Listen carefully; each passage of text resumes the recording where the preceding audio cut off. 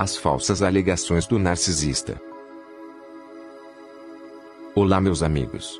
O conteúdo deste vídeo é para mostrar que a pessoa narcisista vai se apropriar de falsos argumentos, alegando fatos, hipóteses e acontecimentos que jamais existiram e que não têm como existir.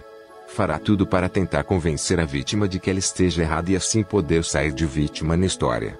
O narcisista vai querer justificar o injustificável, usando de maestria, sempre, com muita arrogância, se mostrando seguro nos argumentos. Fazem isso para que sua razão prevaleça, uma forma para se preservar diante da opinião pública. Mas antes de prosseguir com este nosso tema, peço a você que deixe o seu like se gostar do vídeo. Comente e compartilhe o conteúdo. A você que está chegando pela primeira vez a este espaço, seja muito bem-vindo. Faça também a sua inscrição. Venha compartilhar conosco conhecimento e experiência. Quando nos envolvemos com uma pessoa narcisista, dificilmente vamos ter razão em algum ponto. O narcisista que apareceu em sua vida carismático, acolhedor e um grande ouvinte, de repente vai se transformar em uma outra pessoa, completamente muda, segue surda perante tudo que você mostrar ou falar. Chegará um momento da relação que o diálogo e o entendimento vai se tornar inviável, por mais simples que sejam os motivos. Eles fogem da verdade para não ter que admitir que erraram. Manter a razão e o domínio sobre todas as questões passa a ser uma necessidade do abusador narcisista. O mais incrível dentro desta maldita estratégia do abusador é que o narcisista fará questão em dizer que ama você.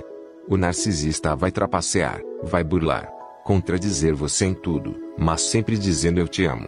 Quase nunca um narcisista vai chegar no parceiro ou na parceira e dizer, não amo mais você. Até mesmo durante o ato do descarte, dentre as poucas palavras que o narcisista ainda dizer, você vai ouvir, amo muito você, mas a nossa relação não dá mais, não tem como prosseguir. Fazem questão de dizer que ama muito você, como forma de prender, aumentar ainda mais a sua culpa e o seu sofrimento. Uma trama diabólica do narcisista para que a vítima carregue consigo o ônus de toda a culpa pelo fracasso da relação. Para que você continue se crucificando por ter perdido alguém tão especial, generoso e atencioso. Ele humilha sua vítima ao mesmo tempo dizendo que a ama. A vítima, por sua vez, vai entrar em parafusos, com mil perguntas. Mas que amor é este que está me fazendo sofrer horrores? E assim o narcisista vai se afastando de você. A cada segundo uma porta vai se fechando. Eles fazem questão de praticar um descarte gradativo, para que a vítima agonize por um certo tempo. Querem deixar esperanças na vítima com estas palavras: Eu te amo. Mas o narcisista não ama. Esta estratégia do narcisista trata-se de um gatilho deixado para que você sofra ainda mais. Para você pensar que é tão ruim que mesmo alguém te amando, não vai suportar permanecer ao seu lado.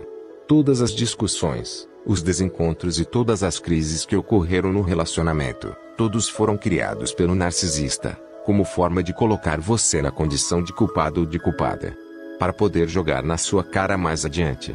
Trata-se de argumentos que o narcisista vai usar para justificar o descarte. Vai forçar e alegar mil motivos, mas dirá que ama você de paixão.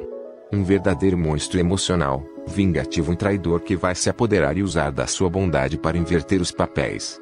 É por isso que entram em nossas vidas esbanjando carinho e atenção. Conquistam as pessoas fazendo elas acreditarem que estão sendo muito amadas e desejadas. Tudo para poder sustentar esta condição no final da relação, pois as manipulações são tantas do que a vítima permanecerá nessa crença. O narcisista não vai usar de palavras para dizer que não ama mais você. A prova da falta de amor vai estar nas atitudes de negação e desprezo, mas infelizmente a vítima custará perceber tal gravidade. Além do mais, querem que a vítima se martirize com essa culpa, carregando a convicção que muito errou com ele. O mesmo discurso narcisista vai usar com as outras pessoas para justificar a separação.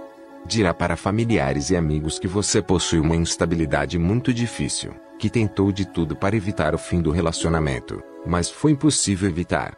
Fica muito claro diante destas atitudes do narcisista, que ele pretende se separar de você com vingança. Não, basta simplesmente abandonar o parceiro ou a parceira. Aproveitam o momento do descarte para pisar ainda mais na vítima deixando-a em situação deplorável, e pior, sem ter razão. Por isso que sofremos muito quando somos descartados. Achamos que perdermos uma pessoa especial, que muito nos amava e que nada fizemos para evitar o fim da relação. Obrigado por assistir. Faça sua inscrição. Deixe o seu like e o seu valioso comentário. Compartilhe se você gostou do conteúdo. Reflexão e luz sempre com você trazendo uma mensagem de conhecimento e alerta.